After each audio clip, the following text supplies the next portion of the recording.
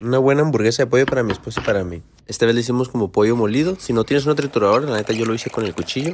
Con que lo tengas bien afilado y hagas cortes pequeños y después hasta que quede finito. Si tienes procesadora, pues métela ahí ya. Yo le metí champiñón, unos dos dientes de ajo y morrón. Eran dos pechuguitas de pollo. Y la idea de esto era porque mi esposa no le gusta que el pollo sepa pollo, entonces, no sé. Ya que todo está bien triturado, lo pasé a un bowl, le puse sal de ajo, pimienta, paprika, cebolla en polvo, poquitas finas hierbas. Otro trastecito aventé mayonesa y sriracha para hacer el aderecito de la hamburguesa. Y hubieran salido cuatro hamburguesas, o sea, cuatro bolitas, pero la neta nomás hice dos. Y pues obvio quedaron bien grandes. Pero la neta sin pedo salen cuatro. Ya doradita le puse mantequilla y a los panes también. Unos cuadritos de queso, mayonesa sriracha al pan, queso parmesano lechuga, guisé aparte champiñón y morrón, sal de ajo, le puse aguacate en la parte de arriba, ya medio guisadita la verdura, arriba y sale. La neta fue algo express, rápido, pero bien pasada de lanza, la neta. Sale pues que tengan buen día. Bye.